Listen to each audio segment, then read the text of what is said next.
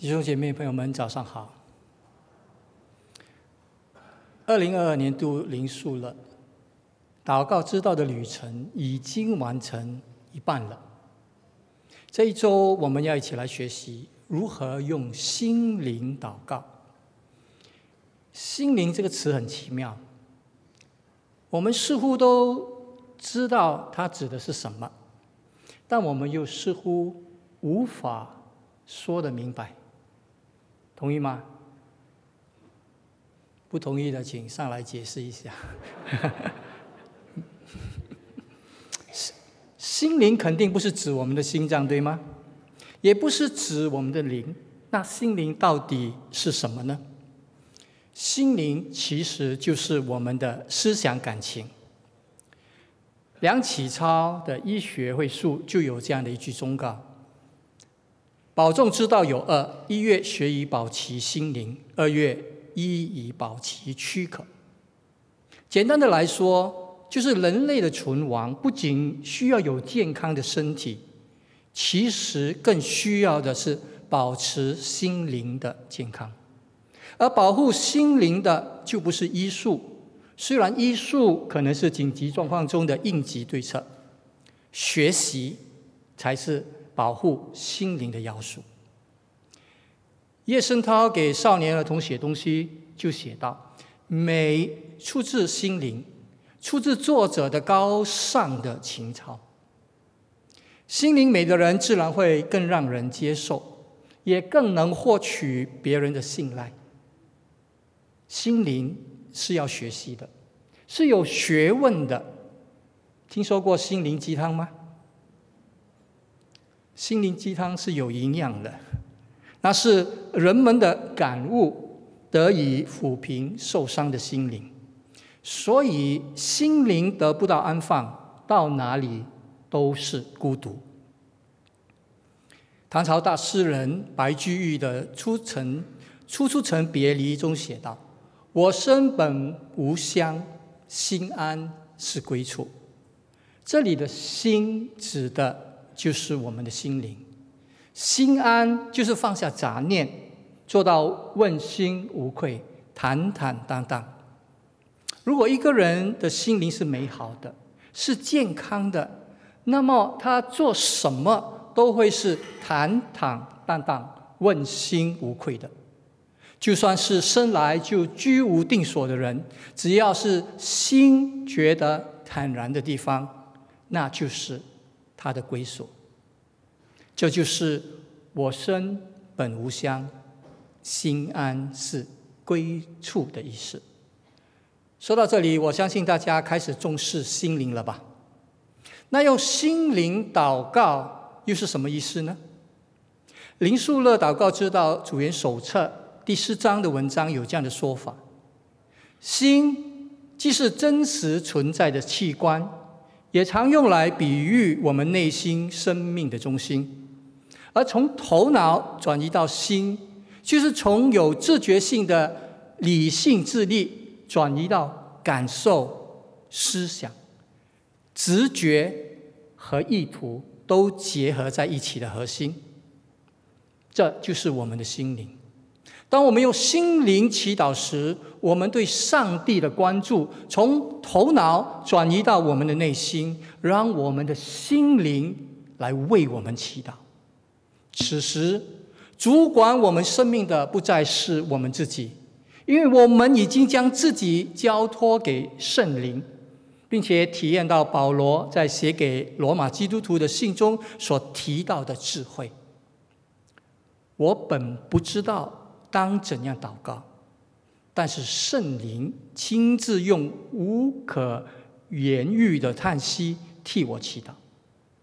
用心灵祷告是基督徒最早的祈祷形式之一。这祈祷的方式促进了这个从头到心的过程。今天我们的正道经文就是用心灵祷告息息相关的命令。只不过这段经文其实是上帝要我们必须去做的，我们必须与我们的心灵感受来完成这样的命令，那就是要常常喜乐，要不住祷告，要凡事谢恩，用心灵祈祷，已经是很抽象了，并且也难以捉摸。上帝还要我们常常喜乐，不住祷告，凡事谢恩，这不是强人所难吗？这是不可能的任务啊！怎么办呢？让我们低头祷告。天父，愿我们在你的恩典中，我们感恩的心不断的成长，常常感谢你在基督耶稣里为我们所做的一切。主啊，我们渴望你的旨意在我们的生命中成全。愿我们能够在所有的事上献上感恩。我们恳求你在我们的身上发展并完善你精致的恩典。我们奉恩慈的耶稣的名祈求，阿门。我们现在就来回答这个问题：用心灵祷告可能吗？或者你认为可能？但是只要你细细看今天的经文，马上你会觉得不可能。上帝在圣经中的所有命令都超出了我们的能力的极限，唯有依靠圣灵内住在我们里面。的能力，我们才有可能去遵守。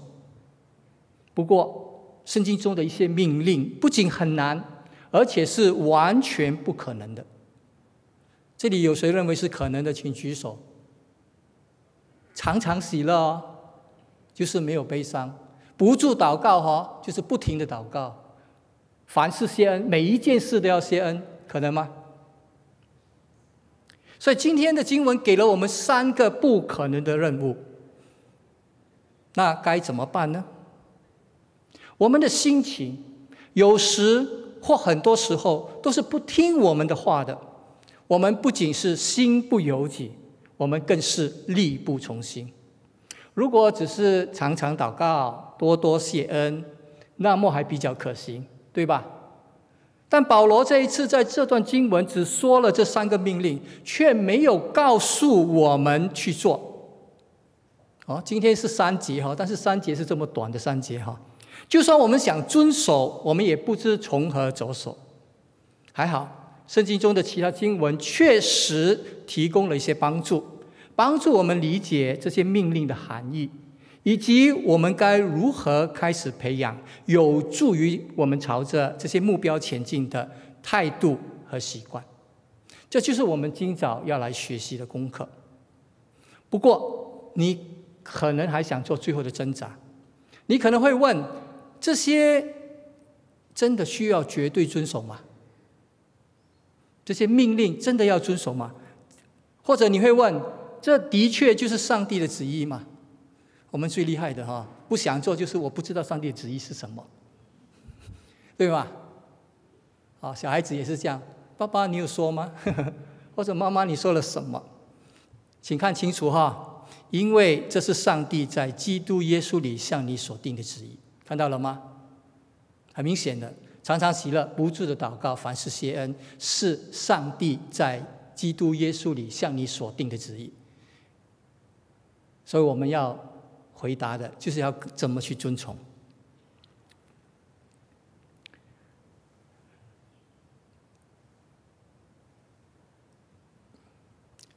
不过还好，在这一节里，我们也看到了一线的曙光，一线的可能。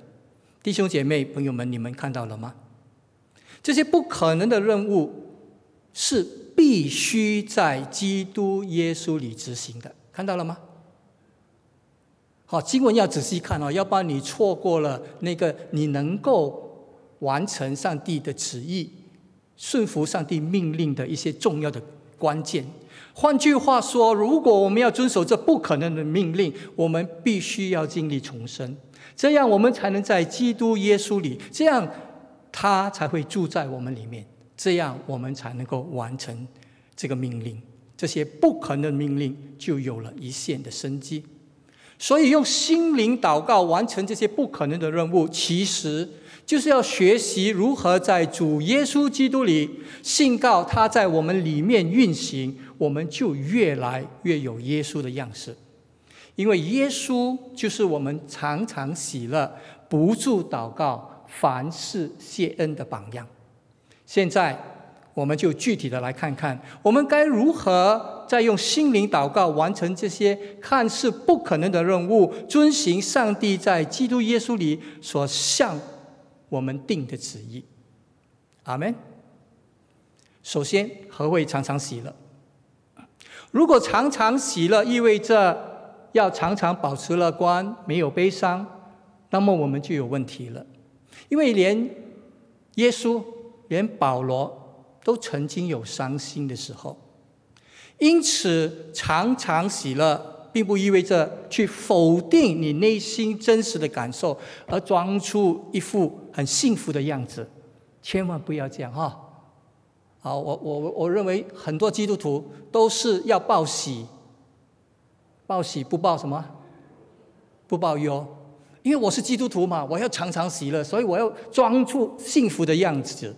不是的，啊，其实保罗这段话呢，是写给因他们的信仰而遭受迫害的信徒，而且他们还是初信的信徒。所以在他们的困难的处境中，要他们常常喜乐的命令，就不能视为是一种感受，而是一种顺服。其实，常常喜乐是一种有自觉性的满足、盼望和幸福的心态，而这心态的根源，就是要刻意专注于基督以及他白白赐给我们。那永恒的福气，这样的例子在诗篇中比比皆是。诗篇通常以诗人一些危及生命的考验中呼求上帝的帮助开始，而在诗篇的结尾，诗人就以赞美上帝，并以上帝为乐，尽管他们的环境还没有改改变。例如诗篇第五篇，在诗篇的开头，大卫提到他的呻吟和他的呼求。随着诗篇的展开，我们看到他因敌人而呻吟，因为敌人的内心充满邪恶，他们的喉咙是敞开的坟墓。但在默想上帝丰盛的慈爱后，大卫却以这个胜利的音符结束了这诗篇。凡投靠你的，愿他们喜乐。时常欢呼，因为你庇护他们；又愿那爱你名的人都靠你欢喜。耶和华，因为你必赐福给异人，你必用恩惠如同盾牌四面护卫他。当然，保罗自己自己也遭遇不公的逮捕，未经审判的殴打，被关进菲利比监狱时。他自己也表现出这种对主有直觉性的喜乐。现在我们弄清楚常常喜乐的定义后，我们该问的问题就是：我们怎样才能培养常常喜乐的习惯？首先，我们每天要关注在基督里白白赐给我们的福气。例如以弗所书三章告诉我们，上帝在基督耶稣里曾把天上各样属灵的福气赐给我们，因为上帝从创世以前就在他里面拣选了我们，在爱中他预定我们的儿子的名分，他在基督里白白的将他的恩典赐给了我们，在他里面我们得蒙救赎，过犯得以赦免，这是照他丰富的恩典充充足足的。赏给我们的，他已使我们知道他旨意的奥秘，我们也在他里面得了基业，也受了所应许的圣灵为印记。我们要时常记得上帝白白赐给我们的福气。其次，就是要顺着圣灵而行，而不可满足肉体的情欲。我们若靠我们若靠着圣灵而活，也靠着圣灵行事。因为喜乐就是圣灵的果子，所以结果子是不能靠着自己的努力而制造出来的。我再讲一次哈，你不可能自己去制造喜乐，你不用太过努力的去寻找喜乐，你该做的就是顺从圣灵，自然而然，时间到了，圣灵的果子就会在你的生命结出那美好的果子来，啊，所以不必再去追求喜乐，而是要顺从圣灵。最后，我们要歌颂上帝。当我们情绪低落的时候，怎么办呢？我们就拿出。一本赞美诗集，或者是播放一些基督教音乐，歌颂上帝的良善、恩典和慈爱。圣经就是经常命令我们要歌颂我们的上帝。诗篇，圣经中篇幅最长的就是我们的赞美诗集诗篇，经常使用它，让我们多思念上面的事，少思念地上的事。我不知道最近你们的祷告为这疫情祷告到底是怎么样祷告？是为着地上的事来祷告吗？还是多思念天上的事？有的时候你越为地上的事祷告，你的情绪越会越来越低落。但是你向上看的时候，你看到的是上帝无限、无所不有、无所不能的福气。所以弟兄姐妹，常常喜乐是可能的，那不是一个感受，是一个顺服。只要我们每天关注上帝所赐的福气，时时顺着圣灵而行，不断歌颂上帝的良善、恩典和慈爱，我们就能够常常喜乐。阿门。好，第二点，上帝的旨意是要我们不住祷告。何谓不住祷告呢？这是否意味着你必须每一个清醒的时刻都在祈祷呢？显然不是，因为保罗和主耶稣都没有那样做。不住祷告和常常喜乐是相关的，因为通过祷告，我们抓住了在基督里的福气，这才是喜乐的泉源。祷告就是在我们的试炼中宣告上帝的应许，把握上帝的应许就会带来喜乐，因为我们知道他是我们随时的帮助。正如保罗在罗马书八章写道：“上帝若帮助我，谁能抵挡我们呢？”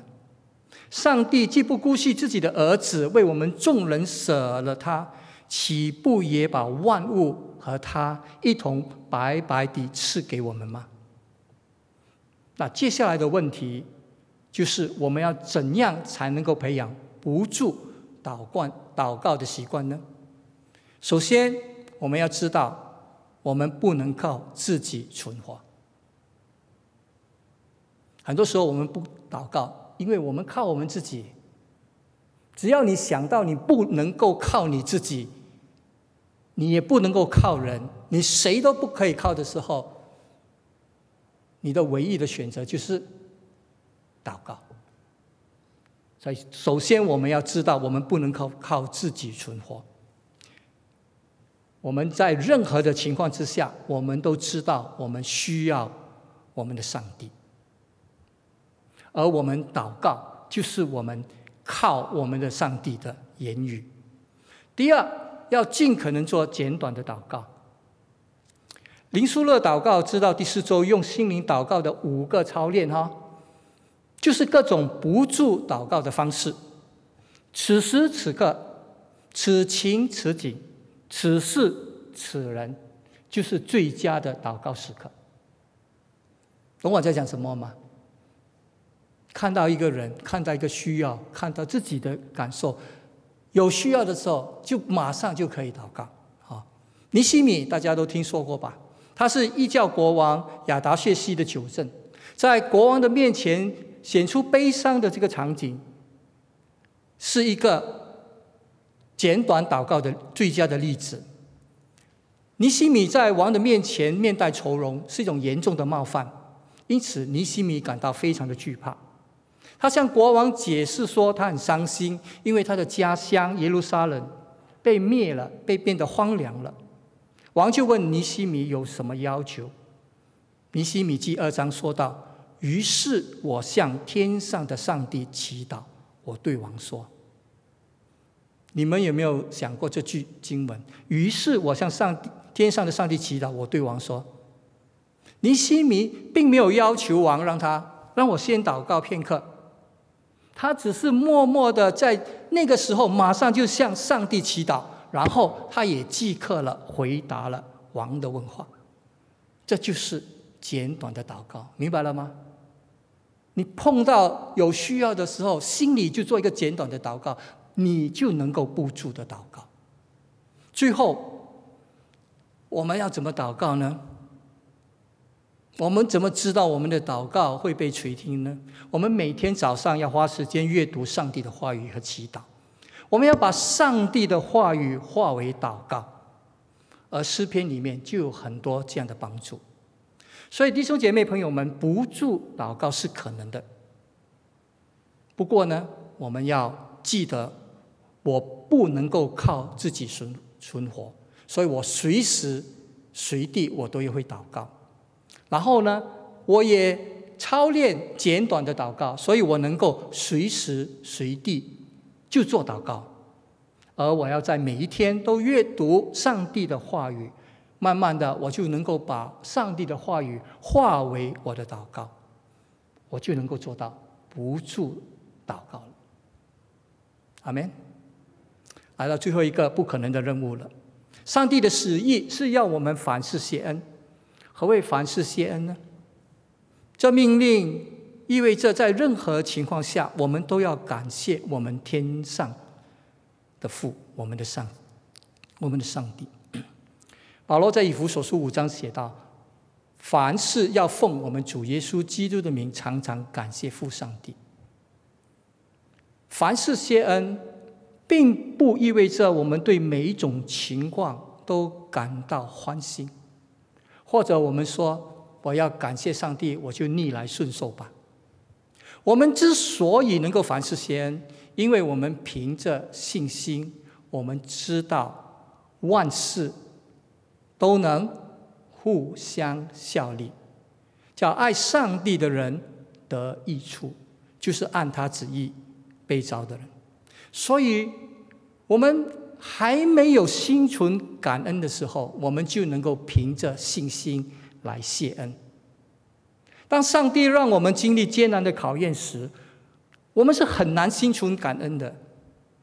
我不懂你有没有这种经历？我们不用骗自己。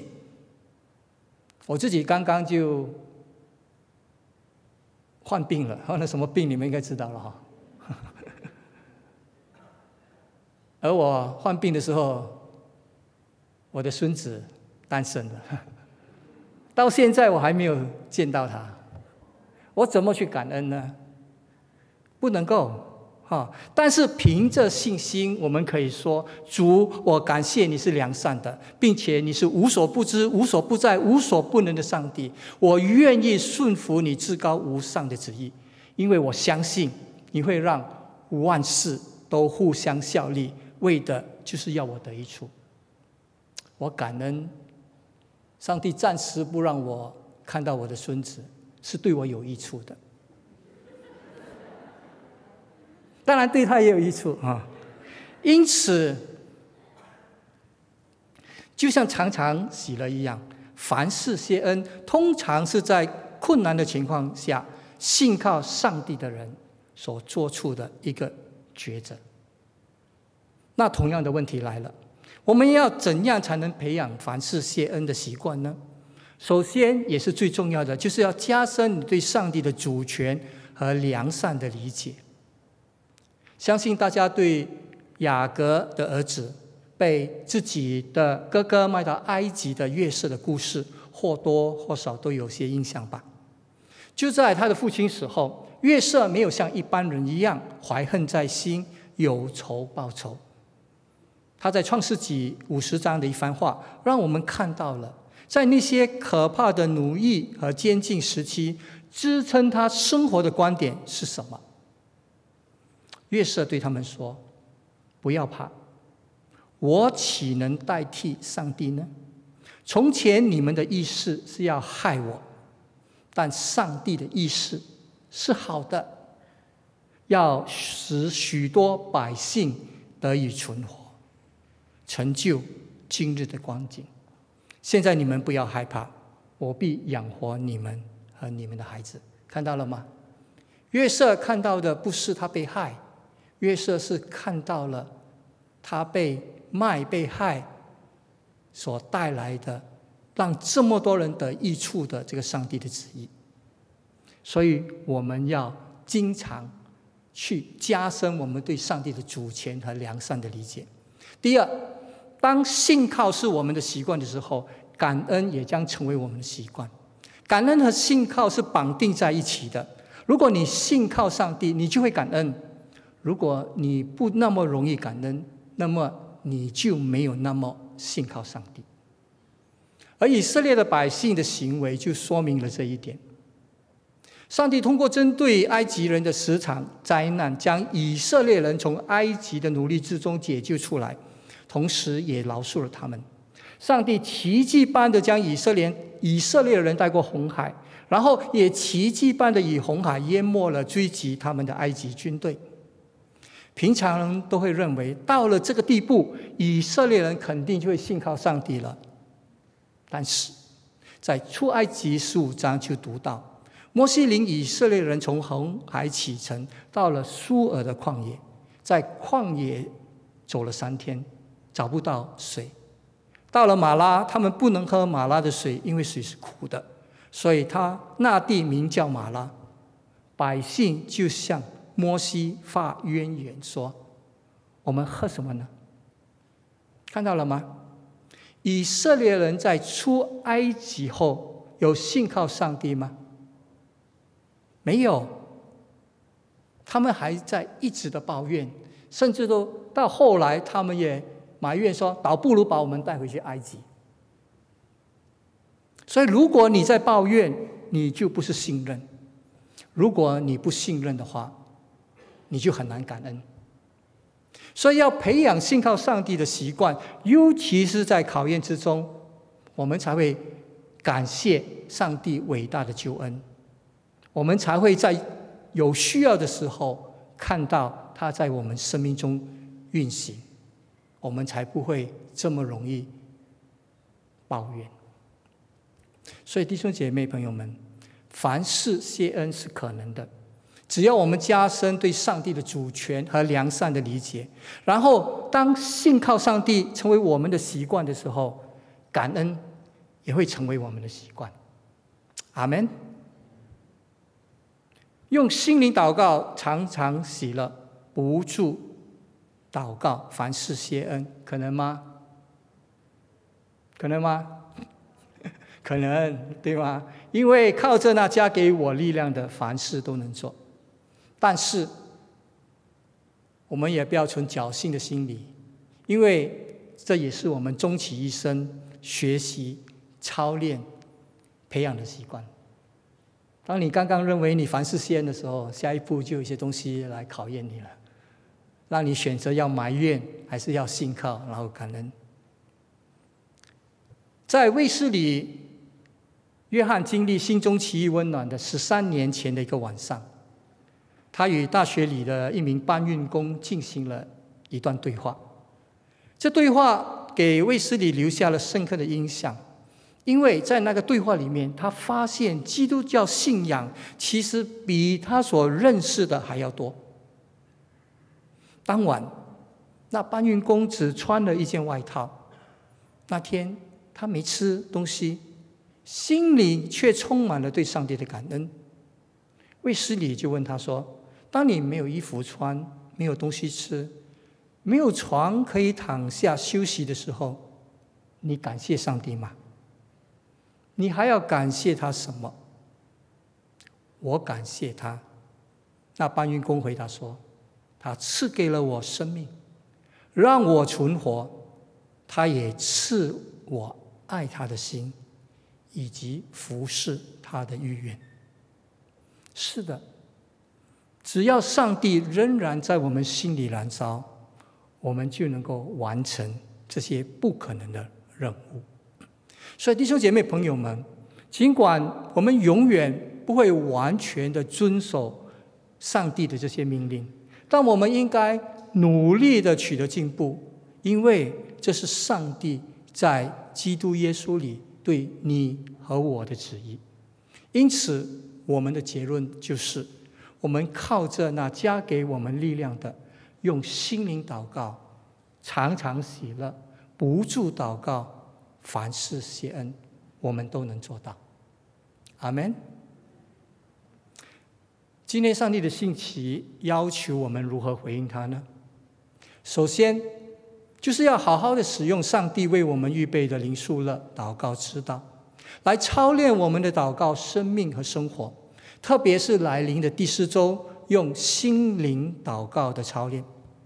其次，就是我们要思想并调整我们的观点，在不否认我们自己的感受。但却不凭着感觉生活，而是凭着信心生活的平衡点在哪里呢？就是说，我们怎么去平衡我们内心的感受和我们的信心呢？既不否定我们的感受，但是也不要让我们的感受来掌管我们的生活。当我们凭着信心生活的时候，也不是就否定了我们心中的感受。我们要怎么在这两者之间取得平衡呢？鼓励大家去看一看诗篇四十四篇，希望在这个诗篇里面，我们都能够找到我们自己的平衡点。希望大家都能相信，无论你的性格如何，每一个基督徒。都能不断的体验到上帝的喜乐。明白我讲什么吗？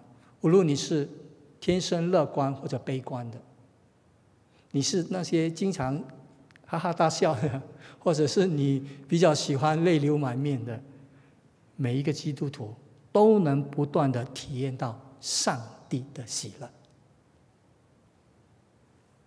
愿我们都常常喜乐，不住祷告。凡事谢恩，阿门。让我们低头祷告。